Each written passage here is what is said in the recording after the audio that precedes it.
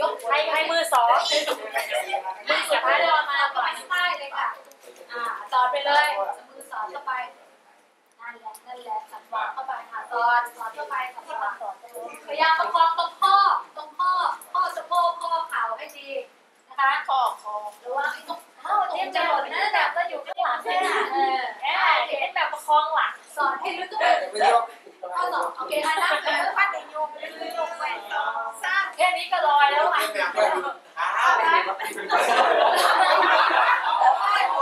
ยเลยอะ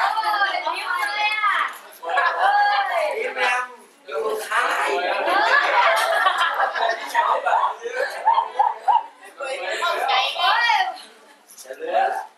อันนี้สบายอะอันนั้นลองพักสิลองพักพลิกไก่